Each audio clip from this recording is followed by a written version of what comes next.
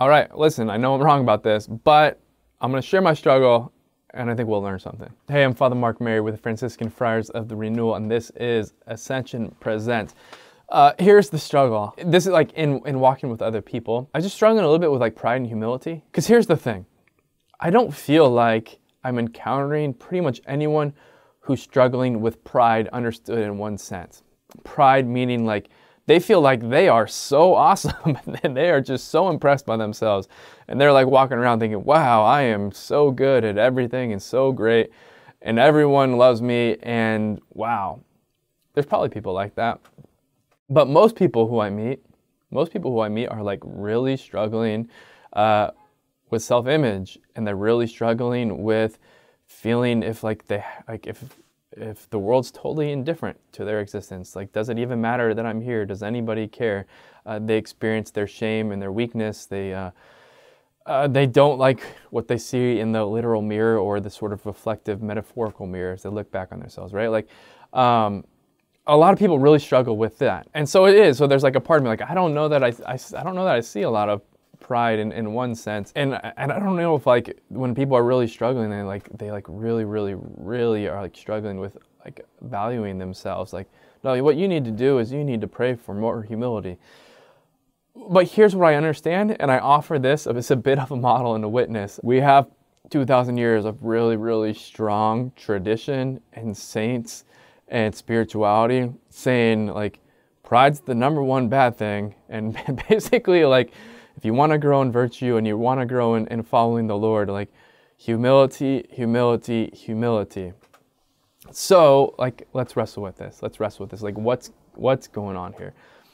Number one, like humility, right? Like, what is humility really? And and, and I do think that sometimes humility kind of gets a like uh, mischaracterized as like thinking that like kind of focusing on thinking like I'm a worm and I'm trash and I'm not good at anything. And but right, like humility is also is it's humility is knowing the and living in the fullness of the truth who I am.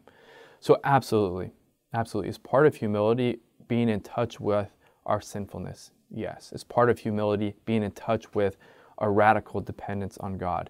Absolutely, it's part of humility really having a grateful heart because we understood that uh, our heavenly Father is the source of all good gifts, and all that we have that is good is a gift uh, is part of humility, understanding that actually we give, we're given all of these good gifts and we blew it and we need him to save us and we need him to save us like every single day and that he sustains us by his mercy and grace from just blowing all the gifts that he has given us. And does that need to be part of what we understand about ourselves? Absolutely.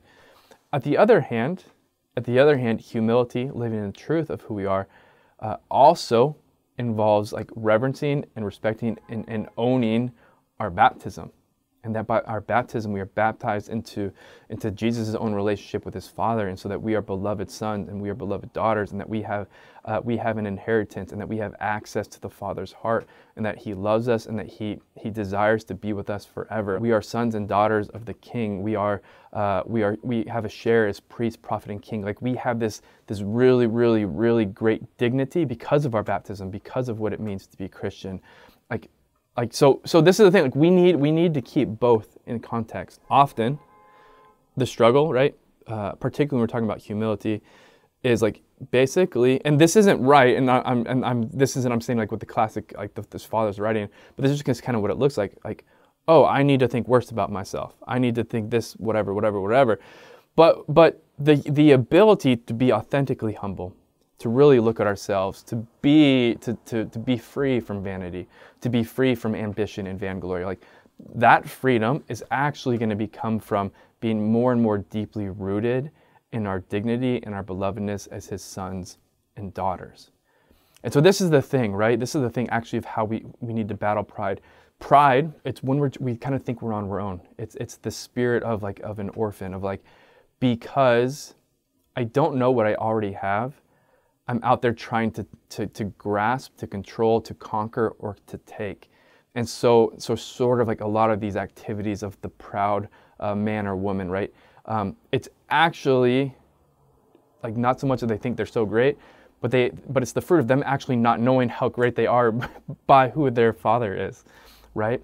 And so the remedy, the source of the grace, to be free, to not be worried about uh, being chosen, to not being worried about uh, what other people think, to not being having to chase compliments and, and sacrifice morality for affection or attention. Like the freedom of the sons and daughters of God comes from being more and more deeply rooted in our belovedness and the great love and fondness and, and, and, sort of if we could use these words analogous like the way like the father's heart overflows with this visceral and deep uh, love that is just for us how he never takes his eyes off of us how he just he creates all of this uh, because he loves you and because he loves me. Humility isn't just self-doubt and and it's and it's not and it's not self-hatred like humility includes understanding our dependence and our sinfulness but at the same time at the exact same time our belovedness and, and, and how, how desired uh, we are by our Heavenly Father,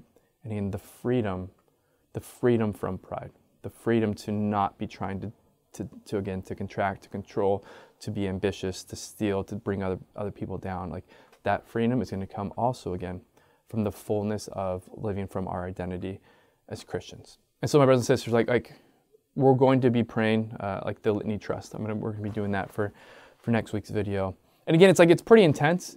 it's pretty intense. Um, but part like what well, as we're asking for the freedom from like some of these things, like again, we want to keep in the context because like we're experiencing this love, this chosenness, um, first and foremost, like from our heavenly Father. And if if He loves us and if He sees us, like it's so big and it's so overwhelming. Like we can be free to not need to be trying to grab this and like grasp it uh, from other people. So again, it's great to be with you, great to be praying with you, great to be journeying with you. Uh, remember, we are pilgrims on this earth. So peregrinos poco a poco, little by little, vamos a llegar. We're gonna make it.